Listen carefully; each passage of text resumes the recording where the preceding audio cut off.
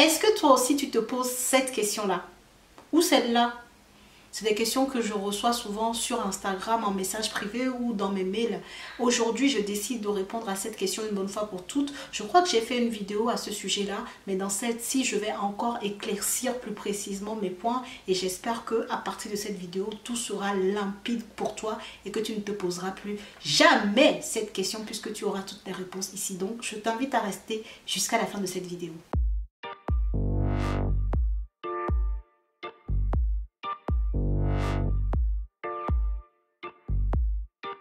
Bonjour à tous et bienvenue sur cette chaîne destinée à l'investissement immobilier. Je suis Céline Dorido, je suis immopreneur et sur cette chaîne, je t'enseigne, je t'apprends à gagner de l'argent grâce à l'investissement dans la pierre, à faire de l'immobilier un business rentable qui te rapporte de l'argent tous les mois et pas seulement quand tu auras fini de payer ton crédit immobilier. Alors si le sujet t'intéresse, si faire de l'argent grâce à l'investissement dans l'immobilier est quelque chose qui te plaît au plus haut point, qui fait partie de tes projets, je t'invite à faire deux choses. La première, abonne-toi à cette chaîne pour ne pas rater mes futures publications, bien sûr, ta cloche de notification. Et la deuxième chose, regarde dans la barre de description de cette vidéo ou de n'importe laquelle de mes vidéos, tu trouveras des liens très intéressants. Et surtout, si tu es nouveau ou nouvelle sur cette chaîne, je t'invite à regarder justement dans cette barre d'informations pour prendre ton cadeau de bienvenue. Alors, comme je le disais dans l'introduction, aujourd'hui, je vais répondre à cette question qu'on me pose tous les jours, qui est de savoir par où commencer lorsque je veux investir dans l'immobilier L'immobilier m'intéresse, c'est ton histoire est inspirante et tout. Euh, je veux avoir la même trajectoire que toi. Bref, je m'intéresse à l'immobilier. Comment je fais? Par où est-ce que je commence? Alors, la première chose qui est très importante et au risque de me répéter cette première chose, elle n'a pas changé. Ça sera toujours de te poser pour définir ton objectif. Quel est l'objectif derrière ton envie, ton désir d'investir dans l'immobilier?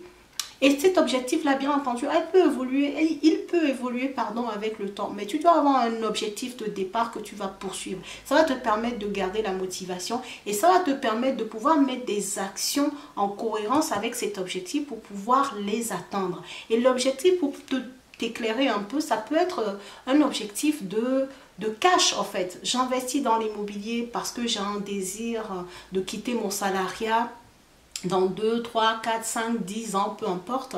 Et donc, pour arriver à quitter mon salariat, il me faut euh, arriver à un revenu locatif cash flow, pas juste le loyer que je touche, mais il me faut arriver à un cash flow de 2000 euros, 3000 euros, 4000 euros. Donc, pour que je puisse atteindre ce cash flow de cette somme-là, parce que c'est l'objectif derrière, c'est pouvoir quitter mon salariat et faire d'autres projets, et eh ben, je dois pouvoir investir dans un appartement, plus un immeuble de rapport, plus tant, tant, tant, Tu vois ce que je veux dire? Il faut que tu aies un objectif clair. C'est la première chose. La deuxième chose qu'il te faut faire, c'est commencer à constituer ton épargne. Tu ne peux pas investir dans la pièce et puis avoir zéro épargne en fait. Ce n'est pas sécure, ce n'est pas une bonne manière de faire que d'être les poches vides et de vouloir investir dans l'immobilier tout peut bien se passer et très souvent même tout se passe bien. Mais dis-toi que le 1%, 2 ou 3% de chance que les choses se passent mal, bah, ça existe en fait. Donc tu dois avoir un peu de matelas de sécurité pour pouvoir t'assurer que quand l'aléa arrive, eh ben, tu puisses être à même de résoudre tes problèmes. Et c'est une confiance que tu vas également apporter à la banque.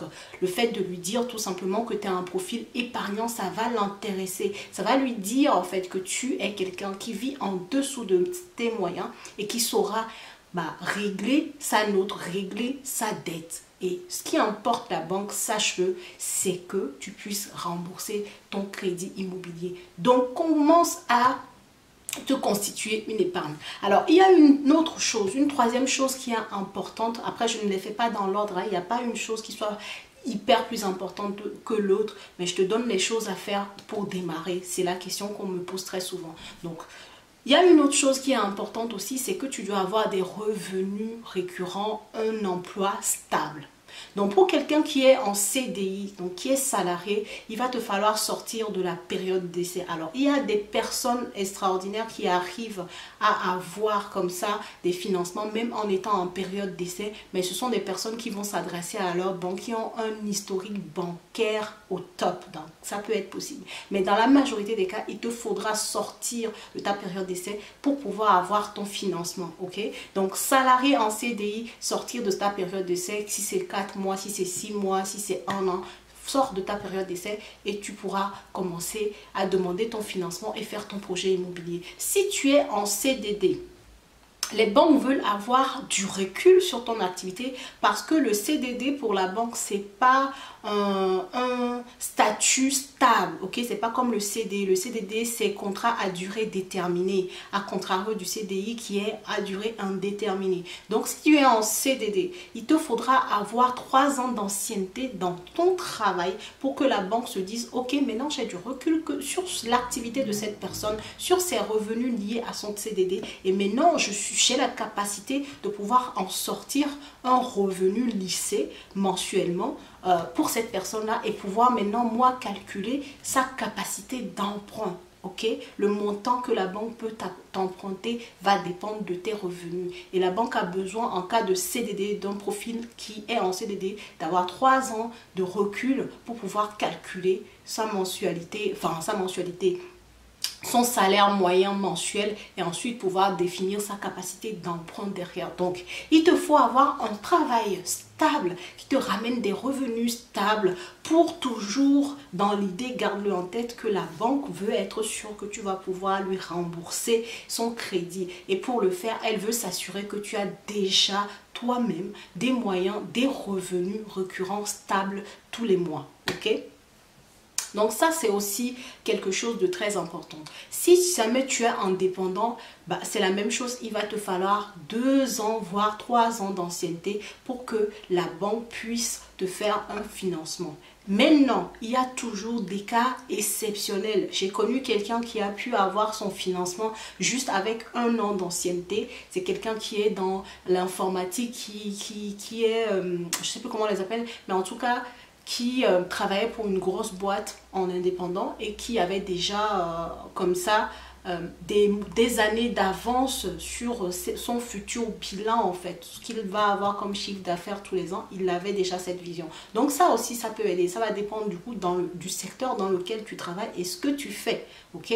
Mais là, je te parle juste des cas, on va dire, génériques là c'est que quand tu es indépendant, quand tu es en CDD, quand tu es entrepreneur, tous ces profils hors CDI qui est le préféré de la banque, et bien tous ces profils-là, dans la majeure partie des cas, il te faudra avoir trois ans d'ancienneté pour pouvoir demander ton crédit immobilier. Donc, quand tu es dans le par où commencer, regarde là où tu te situes, dans quelle case tu te mets par rapport à ta situation professionnelle et ça va te dire quand est-ce que tu pourras commencer.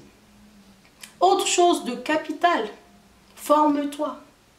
C'est très important. Quelqu'un qui veut démarrer dans l'investissement immobilier, c'est crucial de te former. Commence par regarder des vidéos gratuitement, comme cette chaîne, comme d'autres chaînes qui en font, des comptes Instagram. D'ailleurs, je ne sais pas si tu me suis sur Instagram. Si ce n'est pas le cas, va faire un tour sur Instagram et tu vas voir, il passe vraiment pas mal de choses.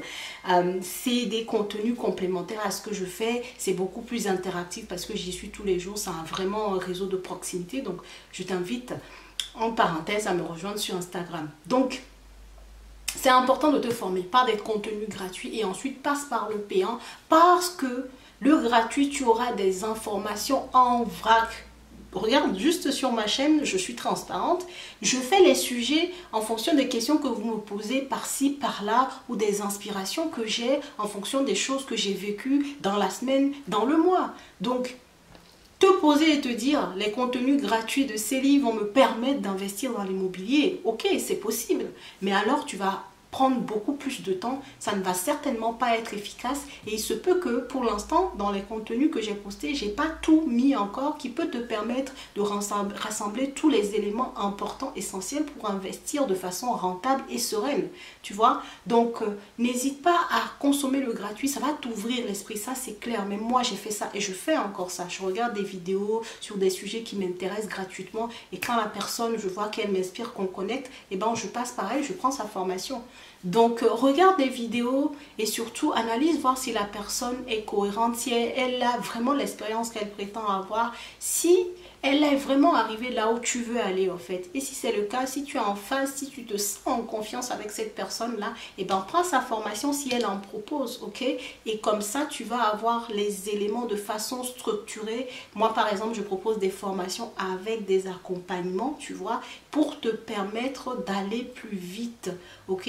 Avec moi à tes côtés pour que tu puisses agir parce que c'est dans l'action qu'on va avoir des résultats. Quelqu'un qui se forme et qui ne n'agit pas plus que ça n'aura pas les biens immobiliers concrètement. C'est ça qu'il faut comprendre. Donc voilà les choses importantes. Hein. Je crois que j'en ai cité quatre essentiellement. Quand tu veux démarrer, aller voir ta banque. Ah oui, aller voir ta banque, ça je ne l'ai pas dit.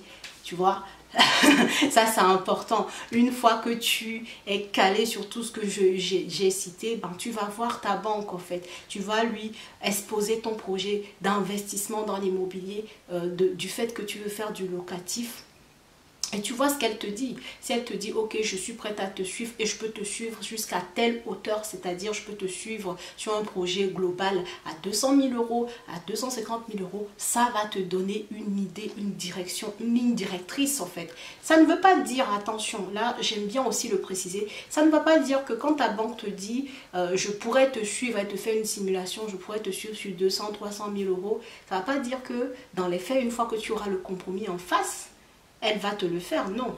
Parce qu'il faut comprendre que la simulation bancaire n'engage la banque en rien. C'est un document comme un autre. Mais si ton conseiller bancaire prend le temps de te faire une simulation, c'est que d'un côté, tu as des chances de pouvoir avoir ton financement. Je ne sais pas si tu vois la nuance. Le financement n'est pas sûr, mais si te sort une simulation, c'est que tu as des chances de pouvoir avoir un financement. Et nous, on mise juste sur la chance. Après, ça peut être cette banque-là ou une autre banque, mais au moins, on sait qu'il y a une ouverture. Et nous, on va, voilà, même si c'est une toute petite ouverture, on va foncer dedans. Voilà, donc voilà ce que je voulais te dire dans la globalité concernant le pas où commencer. J'espère que cette vidéo est très claire. Je pense que je t'ai dit les choses essentielles pour toute personne qui veut démarrer dans l'investissement immobilier rentable. À toi de prendre ton stylo et de prendre les notes sur ces différents points. Tu les mets dans l'ordre dans lequel tu, tu veux. Mais ce qui est sûr, c'est que tous ces points doivent être faits avant de démarrer dans l'investissement immobilier rentable. Voilà, c'est tout pour cette vidéo. J'espère qu'elle t'a plu. Si c'est le cas, mets-moi un like, partage la vidéo autour de toi. Abonne-toi à la chaîne si ce n'est pas encore fait. Et puis moi, je te dis déjà à dimanche pour un nouveau live. Et puis à la prochaine vidéo. Très belle soirée. Salut